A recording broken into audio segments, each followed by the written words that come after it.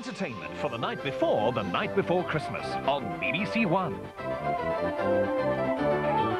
Helter-skelter action with Indiana Jones and the Temple of Doom, where Harrison Ford runs into a bit of ancient evil. And then, Thus, Indiana Jones is back again in Indiana Jones and the Final Conquest.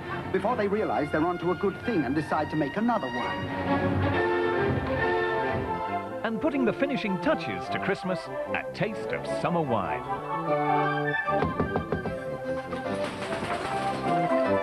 A smashing time guaranteed for everyone on the night before the night before Christmas, here on One.